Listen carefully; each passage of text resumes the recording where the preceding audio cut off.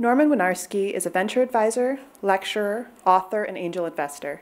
He is past president of SRI Ventures at SRI International, a world leading research institute founded by Stanford University in 1946. He was a co founder and board member of Siri, which was spun out from SRI in January 2008 and acquired by Apple in April 2010. Norman works with entrepreneurs, startups, research institutes, and major companies to create breakthrough ventures or products. He is an author, a leader, a lecturer, an Emmy Award winner, and is here to speak to us today about his new book, If You Really Want to Change the World A Guide to Creating, Building, and Sustaining Breakthrough Ventures. Welcome to Google, Norman. Thank you. Thank you so much. So um, this is a pleasure. And first of all, it's a pleasure to be here with you. Uh, and those who are connecting, I believe, are many as well. And I want you to feel free to ask questions. This is, uh, my guess is, an audience that's particularly important, for me at least, to want to reach. And where I stand matters. So is it better over here? Probably? Okay. Um, as long as I'm not blocking that. I particularly want to reach you because um, the kind of the, this book, which is what we're this meeting, this this event is all about, is not about creating just any venture um, and building and sustaining. It's about breakthrough ventures. And so, first question to you is how many of you would actually like to start a venture or be part of a, a startup venture? Could you raise your hands? Okay. And what I define by breakthrough venture is one that um, will have an impact on the world, one that people's passion was so important that they really want to have a positive benefit on millions of people. Uh, that kind of venture, how many people would like to and have an idea for that kind of venture that they'd like to achieve? Okay. So that's what this is about. So that's what it's distinguished. Um, if you look up on Amazon something like entrepreneurship or innovation or something like that, you'll get about 50 to 70,000 books. That's not a good reason to write a book in that space then unless you really have something you really want to make a difference on. So why did I write it? First of all, I think the story of Siri is not just a story about how we created a company, but it's about a process we used to create that company. And that was a process that I wanted to share. So the second is that's the guide. The, the process we've done, and by the way, my co-author is Henry Kressel. He was a managing director at Warburg Pincus. Um, and helped create many companies. So the book is about our experiences about somewhere between 10 and 20 companies that we've helped create that had that kind of breakthrough impact. So remarkably, the kind of impact that, uh, the kind of, uh, of um, companies that we've created, they've not had a, a new formula or a new flavor for how we created them. So what I'm really telling you is information that most great entrepreneurs and most great venture capitalists would consider already having been part of their approach, okay? This is not, you know, the next great flavor or the next great diet on how to create ventures. This is about how our experience has been over several decades and dozens of companies on what it took to create those great ventures. Okay. Um, I also feel, especially having come from SRI, that we want to create ventures that really make a difference, which are often in areas now that are deep technology or deeply difficult to commercialize. Things that relate to medical devices, clean water, energy, um, helping the world in many different ways. And researchers and engineers and technologists often don't feel that that's an opportunity for venture capital and investment. And I, I, am here to say that's not true. You can create great ventures from those technologies as well. Um, the other point is, and, and, you'll read it, if you read it in the book, in the first few pages, This is not about the, the, the narrow segment of ventures that are usually software ventures that you can get out into the market with you know 50k or less of money, get some family money, and start pivoting often, fail fast, fail often, and get to something. Okay, this is against that model. You can succeed with that model. It's not like I'm trying to say you can't, but it's not the kind of model where you, if you really want to go out and really, that's why the word really is emphasized in the book, intend to change the world, that's not the model I would recommend you start with. And so we'll be talking about that model. Um, the other thing is while I'm talking, i have set aside like 30 minutes or so for presentation and another 30 for discussion. But I, I'm a teacher too, so I, I just, uh, just finished my first semester uh, class at Stanford. I'm teaching the GSB second year graduate students there. Um, so I like questions. So if any of you feel that you need to understand, that will really uh, make it an engaging time. And the harder the question, the better. Okay? Uh, first of all, my experience, though, why am I here? Uh, one is by SRI, I created the SRI venture and commercialization process. And so, um, and out of that, we've created about 70 uh, companies and, um, and out of those 70 companies, four have IPO'd. Many have been acquired. The total market value is about $25 billion. Um, and brought back to SRI about $350 million. One of the important things about that, by the way, is it wasn't just ventures, it's ventures and royalty and equity. And that has bring, brought in an ongoing stream of revenue uh, every year, somewhere between 10 and 40 million on average per year.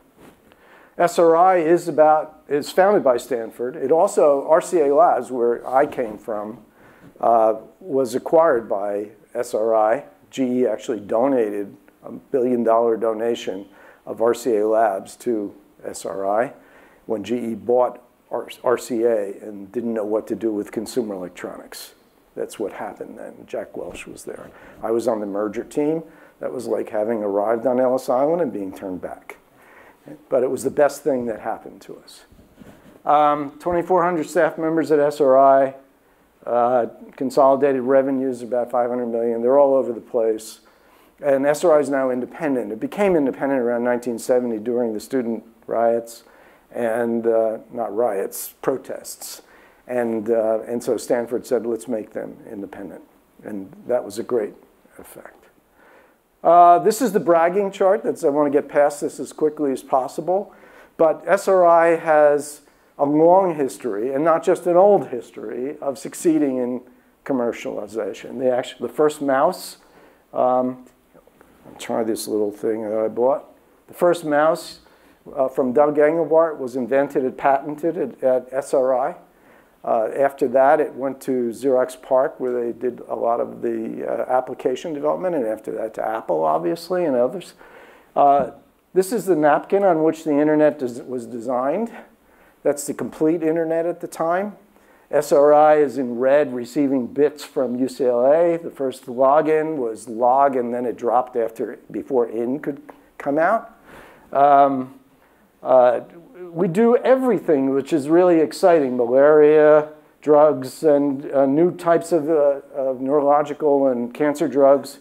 Uh, Academy Awards, Emmys, I was on the one that uh, related to HDTV, uh, on the team, I should say. Those little numbers on your check we did. Siri was most recently uh, in 2010, one of our startups that got acquired. So it, it's, it's consistent. We're building lots. Okay. Um, this is just a list of the companies that we've helped create. And you have that kind of average impact that you expect from venture capital. Actually, better performance than you might expect from a normal venture capital firm. Somewhere about between 1 and 10 and 1 and 20 of our uh, startups are home runs, namely they create uh, you know, 10 to 100 times their value to us. Many times the startups are singles and doubles, maybe, meaning they return their value back or a little more. And, uh, and we've actually never had a true bankruptcy um, where, where everybody lost everything. So uh, it's been quite a, quite a ride. And what's really interesting is, unlike uh, other venture models, we create only three or four ventures a year. Don't, like 1,500 projects, $500 million going in, three or four ventures. But the reason for that is because of why I wrote this book. We only focused on creating ventures that could be home runs, billion dollar companies, breakthrough companies that could really make a difference in the world. And um, similarly, Henry at Warburg Pincus did the same. Henry's a great researcher, and he and I together were at RCA Labs before we came out here, uh, before he came to the venture community and I came out here. Um, as you can see, materials, biomed, all of those technologies. Okay, um, you know, if you had to say the moral to the story here about creating breakthrough companies, it's really here. Uh, if you have achieved and if you want to have accomplished great things, great aim, you fix your gaze, and it sometimes seems impossible, and you stay consistent. This is why I have difficulty with the fail fast, fail often, pivot often model. And we'll draw a picture later if we have questions. But over time, when you're creating a venture, what do you iterate on? What do you iterate on? In the venture capital world, sorry, what do you iterate on? And what you don't iterate on is your core value proposition. You rarely iterate on your team. You rarely iterate and change on whether you're a consumer or an enterprise play after you've been funded. Before you're funded, anything goes. Before you, you take external money, you can iterate, decide on your own venture concept, and really make it work. And I'll show you how that works. Okay, in terms of the technology that we helped create companies from, um, it really comes from the Bayh-Dole Act. Does anybody know Bayh-Dole? Raise your hands if you know it. Okay, so in the US, back in 1980, Birch Bayh and Bob Dole passed a law that said um, if you do projects for the government and, it's, and you're a nonprofit institution, such as a university or a lab, then you can own all the commercial rights of anything you do, any breakthroughs you achieve. That is an incredible war chest of technology that comes to Stanford, Berkeley, SRI, all of these. That is the basis of it. And the crime of it is we do breakthrough technology. Our number one customer was DARPA. We do breakthrough technology, and then it may just sit on the shelf, and the real iteration doesn't occur, it doesn't drive up the value curve, and instead we just go to the next great invention. So um, the Bayh-Dole Act is there. We can own the commercial rights. That gives you the incentive to do commercial success. And by the way, we give, at SRI, we gave a third of what we got back to employees. That's one reason SRI wasn't hollowed out by um, the nearby companies that could easily recruit all their staff. Okay, because they could have a portfolio of stock or of royalty and continue uh, to stay at SRI. Okay, on creating value propositions, does everybody know what a value proposition is? Raise your hands. Okay, believe me, you have to know if you're starting a venture. There are four elements, and, and be, in the book it's repeated multiple times. If you want to start a great venture, there are four things you need. One is a great market problem, really a pain point, unless it's consumer. In consumer, it's a different kind of pain point. In an enterprise, a pain point for a market problem is customers or, or companies have extreme pain, have some problem they want to solve, and you can solve it. So market pain, a, disruptive and differentiated solution. Disruptive only because these days, if you only have an incremental solution, you're not going to win. Somebody else is going to apply an incremental solution. And um, a great team and a great value proposition. We're going to get into that. This is about value propositions. And so this is actually the SRI process. It's a mnemonic for N, uh, called NABC. It's actually not the full value proposition. The book lists that. I'll give it to you in a minute on a page. But a full value proposition is the beginning of a value proposition, and these arrows indicate iteration, starts with customer and market needs. It's remarkable in a technology space, people don't think normally that way. When people have a great technology, I've got a great, you know, a great new processing or a great new bandwidth or whatever, that kind of problem, they don't think naturally of what market are they reaching, what customer are they reaching, what pain point are they solving. That is a crucial element. So basically everyone that we worked with had to start with and iterate on a customer and market need, then look for the differentiated and disruptive solutions, both business and technical.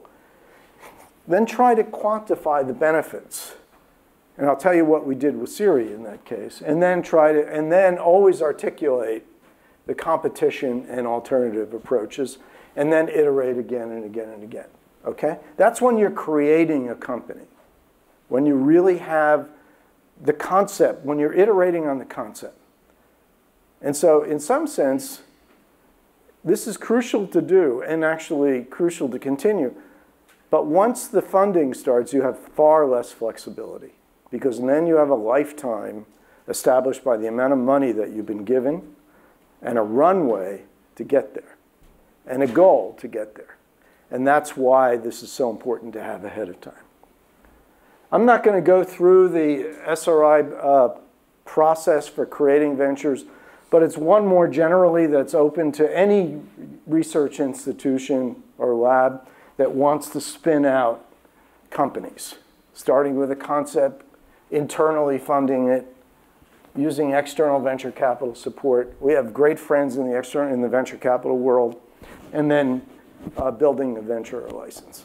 When I told you earlier we only do three or four ventures a year, we probably do 20 or 30 or 40 licenses that don't meet the, the strategy of, of breakthrough. Okay, so let's go to the story of Siri. How many people here think that Siri started with we have great natural language understanding. We have great speech technology. We, we had started the original nuance. We knew what we were doing. We had AI, so we needed to figure out what venture we could have. How many think so? Good, very good. Okay, it wasn't. We didn't, we knew that there were certain opportunities that were created that were remarkable, that we knew that the mobile phone had. And those opportunities were, you know, they were, they had more power than a supercomputer 10 years earlier. They were always on, always connected.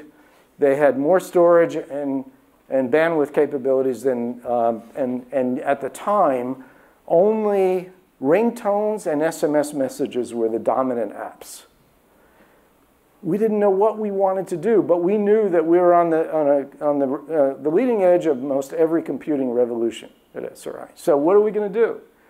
Well, part of it started by accident. CALO was started by the government, DARPA, DARPA our number one customer. CALO stands for Cognitive Assistant that learns and organizes. That meant an agent. They were happy, they liked agent technology. Agent meaning delegate technology to some software. We didn't know what the business was, the model was, or anything. But they started a program, we led it. SRI was the project lead.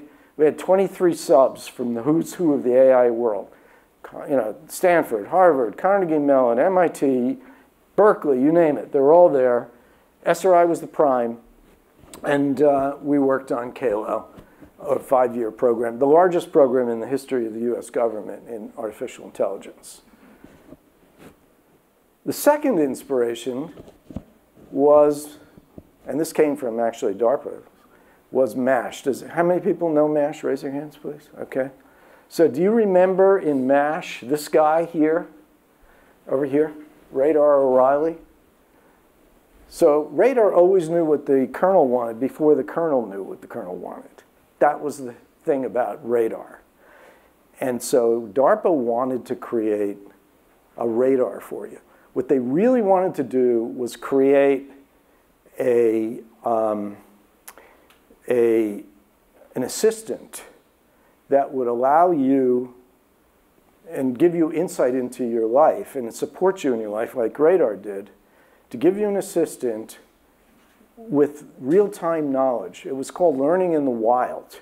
Everybody knew you could do AI in large volumes of massive data, but learning in the wild meant you had to do it in real time as the person was, was, was walking along, doing their activities and all. And that was what that program was at, and that was a great inspiration. Okay, so I told you earlier, there's four things that it takes to do a great venture. That's it. You're, as you leave this room, you can all decide these are the four things you need. Obviously, it's hard to do each one, and the book is about how to do that. It's about the market need and the opportunities, the team. Breakthrough for Siri started and happened actually not because of CALO, not because of DARPA, but because we finally found a market pain point. We were seeking what's the problem that we could really solve with a Radar O'Reilly kind of capability? What's the market opportunity we could create? And finally, we realized at the time that mobile phones, and this was 2007, June of 2007, that mobile phones were difficult to use to access web services like OpenTable, Yelp, Hotels.com. They were all there getting, building their APIs for the customers, and they were losing 20% of their customers for every click that people had to do. People were not used to clicking. They didn't know how to do that. And so, or at least they didn't want to.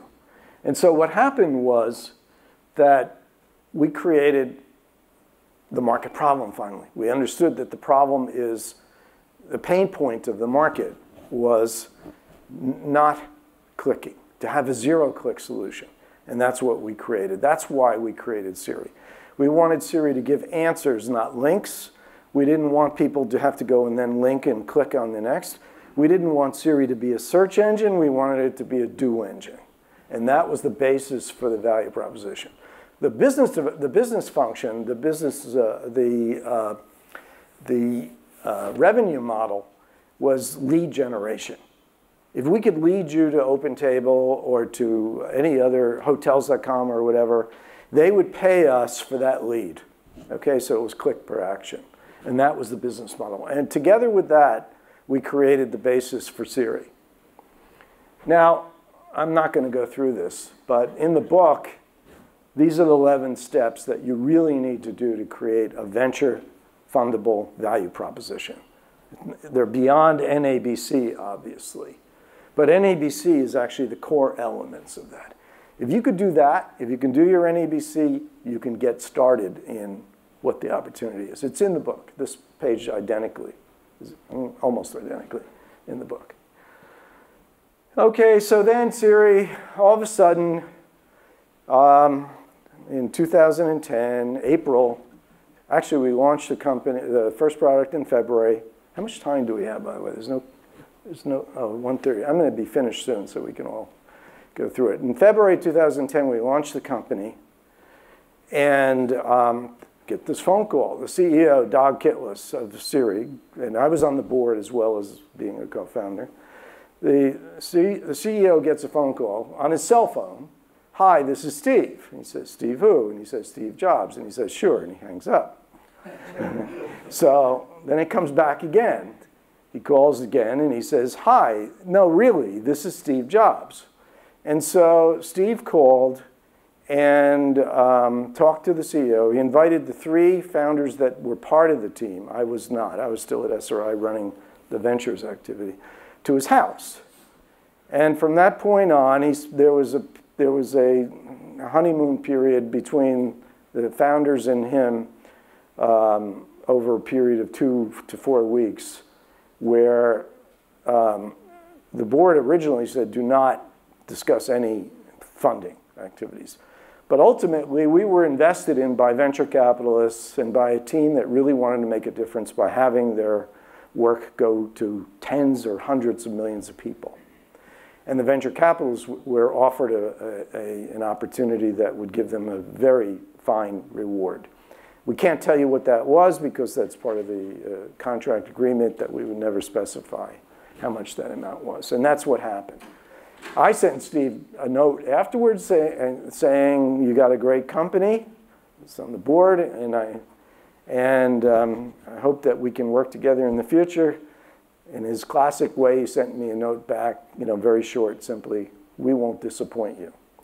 Now, you all know that, truthfully, Siri, on occasion, was and seemed disappointing. It, it, a lot of people, there isn't a person, rarely a person came up to me and said, I love Siri, period. It was always, I like Siri, but it's not recognizing me, or I ask it questions, and, and so on and so on. And of course, you have Google now as well. But it has made great progress, and it is being used by hundreds of millions of people around the world and continues to be in every product. Okay, so that's all about the story of Siri. That was chapter one. The rest of the chapters are trying to show you how to build opportunities from the great, uh, from the great opportunities that exist today. Uh, there are no greater opportunities, in my opinion, than now. There's globalization, demographics, the adversary between, in particular, cybersecurity, um, the growing markets, particularly in China, revolutionary technologies, they're all happening now. Uh, you guys are probably all involved in various pieces of this. This is why I'm excited to talk to you. Um, there's breakthroughs in virtually every area and in, in advanced by technology. I mean, these in particular microsatellites that are, you, fo you, folks have a Loon project, but maybe others in the CubeSats. They're going to be uh, circling the world and giving, and basically creating whole new infrastructure for wireless carriers. Um, autonomous vehicles, look at what you've done. Something wonderful in terms of creating the, the original breakthroughs in that space. Healthcare devices, I'm particularly involved in right now. I, when I left SRI, I began uh, advising as a venture advisor a few startups. And in healthcare devices, given the fact that you can sequence genomes, and not only your own, but the genomes of the bacteria or viruses or the tumors, we're in for a huge breakthrough in the ability for people to improve their health and wellness. Um, I was really uh, excited by this because we helped make this device. A woman in um, the Boston Marathon lost her leg. She was a dancer. And 18 months later, Hugh Herr from MIT, who also has lost his legs, he was, a, he was an MIT professor, is an MIT professor, showed what could be done in the whole new world of, of uh, prosthetics. This is just an example, the tiny example of what could be done with robotics and personalized robotics. And 18 months later, this, this TED, let me get my, this brief, I'm going to do a brief uh, TED, um, a cut of that TED talk. Look at how beautifully that leg and the actuators, which are driven by her own muscle, have enabled her to use her legs again to dance. This was her first time that she was dancing. This kind of robotic system, helping people, assisting people, is now within, you know, two years. You've just seen the DARPA Robotics Challenge recently, where robots are walking and performing activities. We are also building at SRI exoskeletons without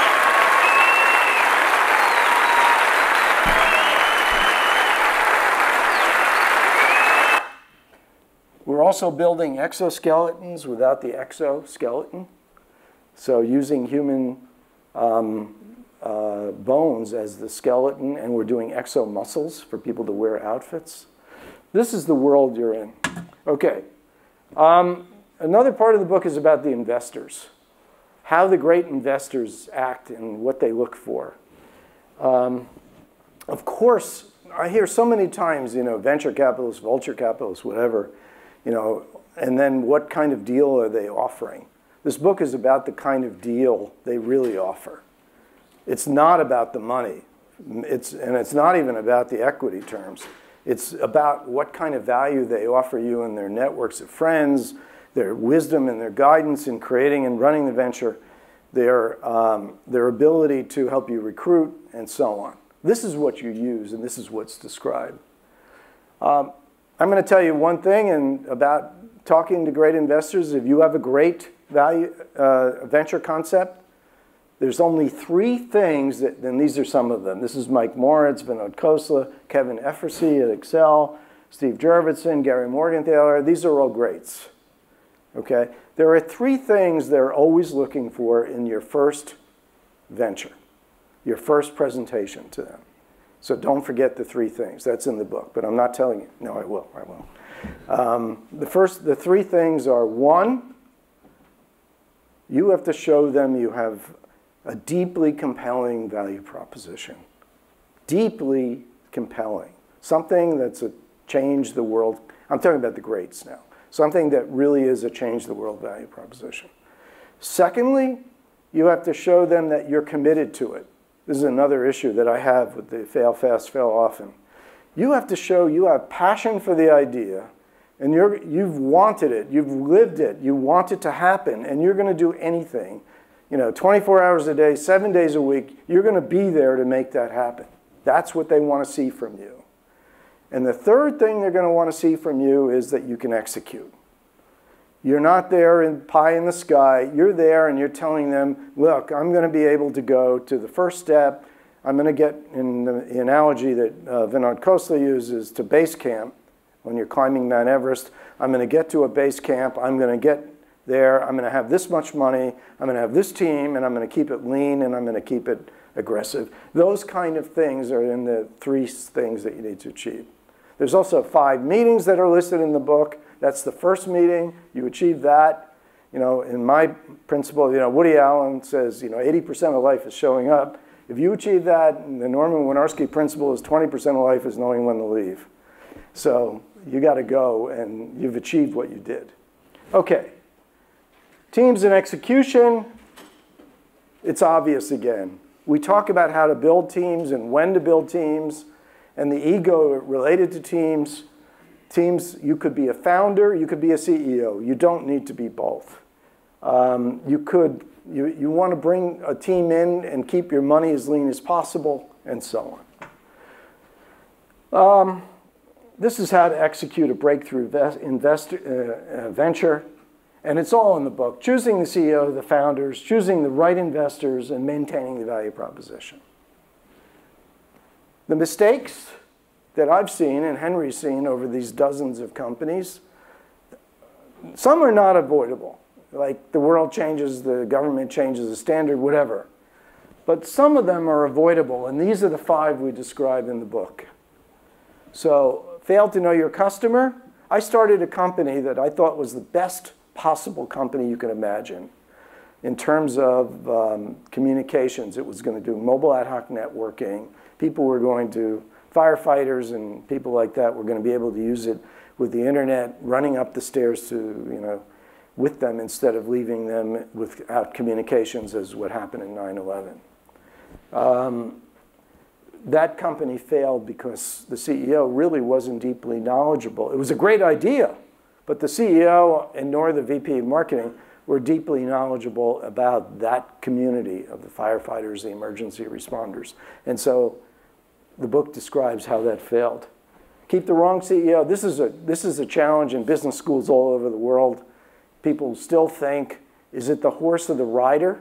What happens if you have a great CEO? Um, which, is, which is more important, a great CEO or a great company? I'm going to leave it to you to read the book, but I'll tell you, we come out on CEO. And many of the business schools and the like come out on, you know, it's the great company. Mismanaged finances, that means there's obvious ways you can do that. You hire too much, you, hire, you, um, you, give too, you, you, have too much engineering, services, too many human labor components, um, and so on. Becoming overconfident is remarkably uh, a remarkable failure. It's when you become blind to your competitors. You're doing so well that you're just not even open to considering competitors. You might think of Nokia in that space, for example. And failed to anticipate future industry developments. A lot of that is in the book as well. So I want to keep going on because we're near done and I want you to ask questions. Um, finally, this book is about how to maintain an ambidextrous organization. That's a word that's actually not in the book, but it's the word that Stanford uses. It's an organization that's both good at, at building and continuing their existing products and services, as well as innovating and create breakthrough products and services. That's the left hand, the right hand, that's the ambidextrous. Turns out that um, the average lifespan of a company, turn of the century around there, was 67 years. Ter- uh, company in the Standard & Poor 500, the top 500 companies in the United States. What do you think the average lifespan of a company is right now? Guess, please. Hmm? 14 years. So if you're in the top 500 companies in the United States, you're in danger. You're going to be broken up or, or bought or um, in one way or another. Look at Kodak, Polaroid, or Oracle, Sun. You can just keep going on and on.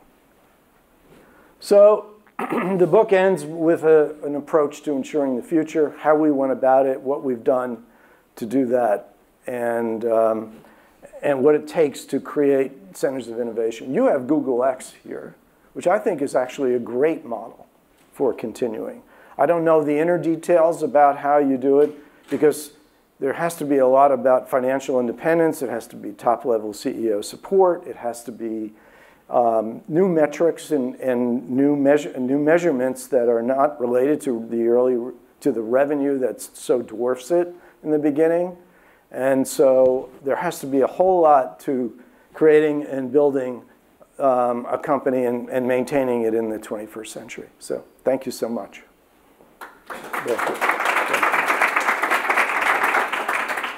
Any questions? Hi, uh, I have a quick question. Um, let's say I have a breakthrough idea. Um, at, at which point, like, at, at, what stage does it make sense to engage venture capitalists like okay.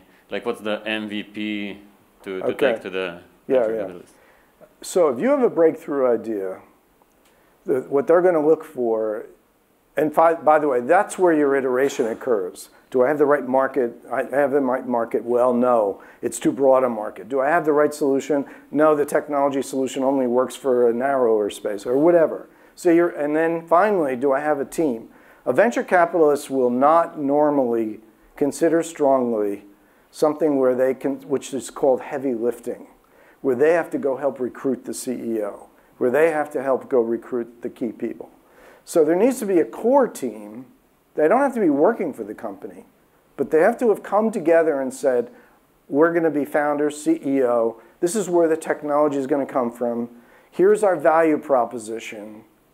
And here's the beginnings of the value proposition, at least. Here's the competition. Here's all these elements. Here's the risks. And then you go in front of them.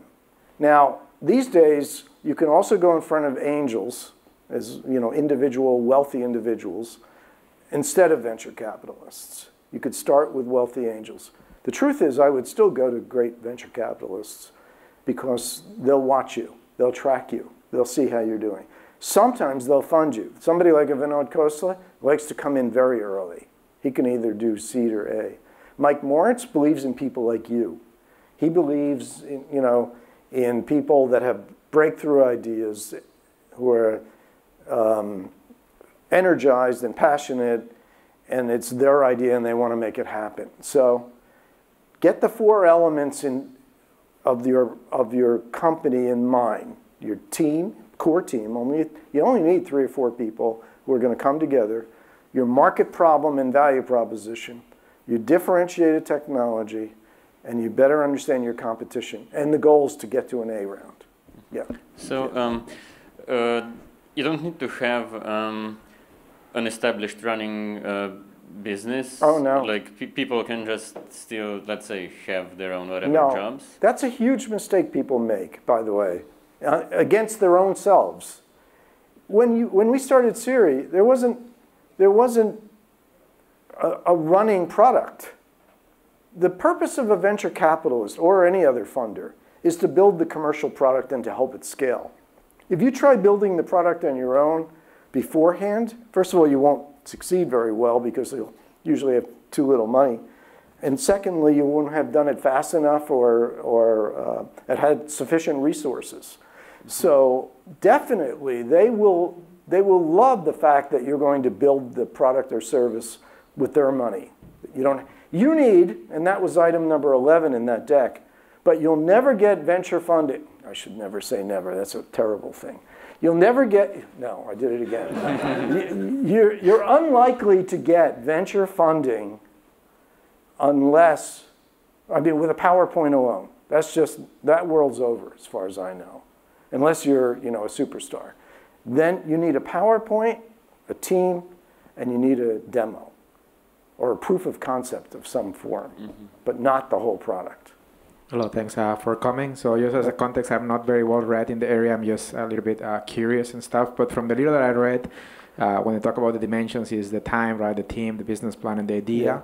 Yeah. Uh, so one of the articles I read kind of emphasized a more underlooked, I think, uh, concept of timing. Yeah. So I want to see if you can comment to that, the things that you have seen succeed or yeah. fail.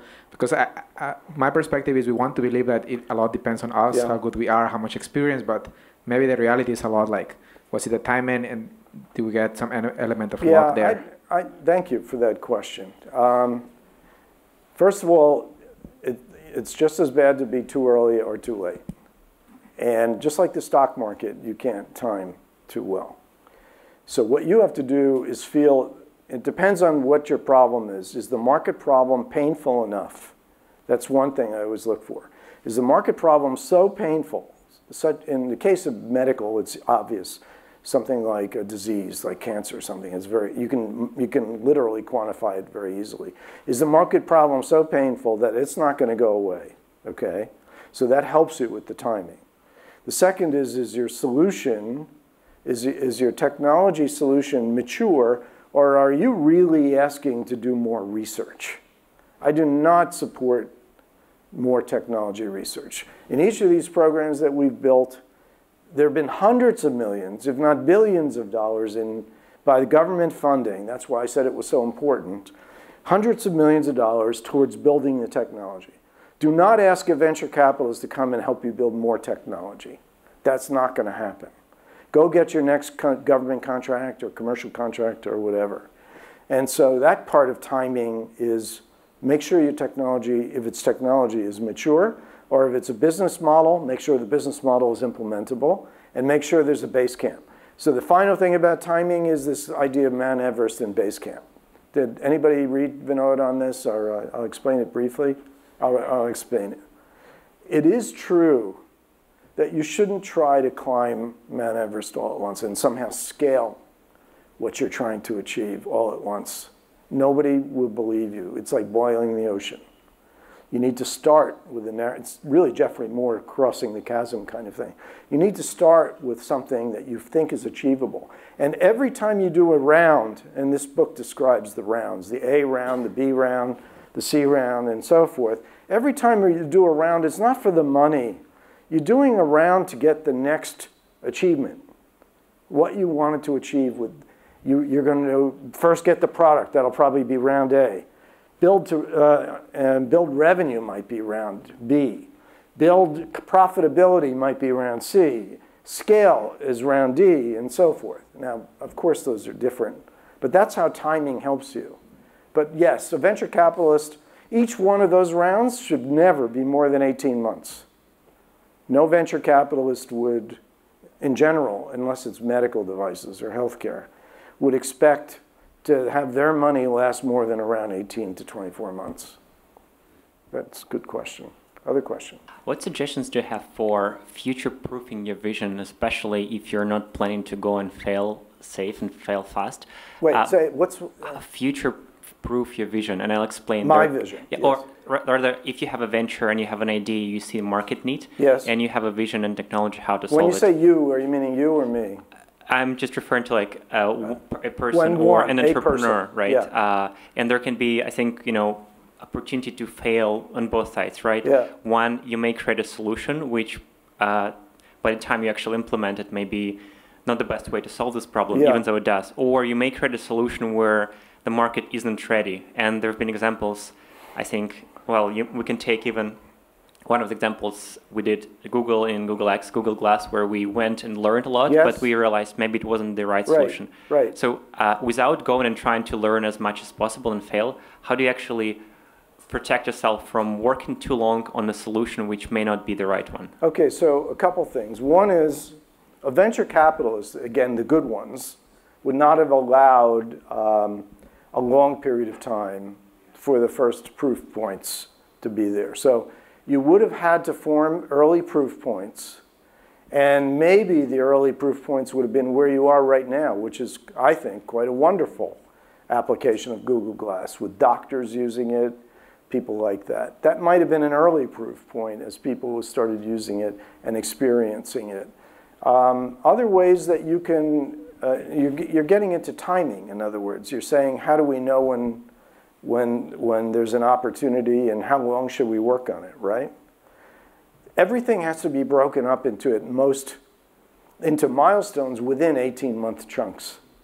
And as you're moving along, if you're not achieving those milestones, you're going to start finding uh, difficulty to continue the funding. So one of the things you emphasized was finding the right team, Yes. bringing the right team to the venture. Yeah. Um, I know a lot of us probably have a great idea, Yeah, but lack the help to get that idea off the ground. right.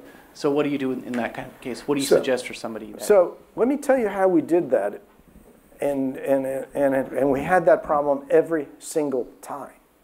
When you're in a research lab like SRI with 2,400 people, most of the people are researchers. That's sort of a tautology.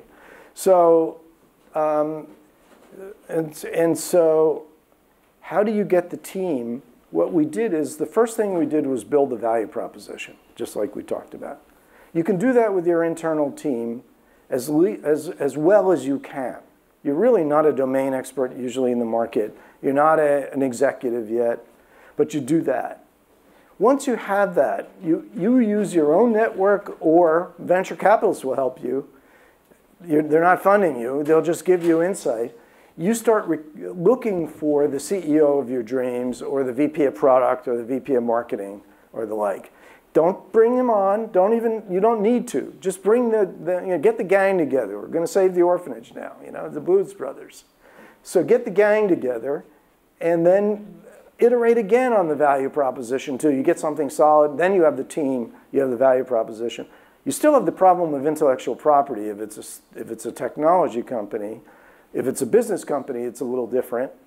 And, uh, and so you'll have to probably, if it's intellectual property, you'll probably want to know who has the patents or, or who can do what, or can you get it from Stanford or whatever. And so that's, that's really how you do it. You, you can build. If you've got somebody that's both a founder and a CEO, like you know Larry and Sergey kind of people, God bless, go ahead. But if you don't, that doesn't mean you can't start this. You absolutely can, because those kind of people are looking for these kind of opportunities. I really enjoyed it. Thank you.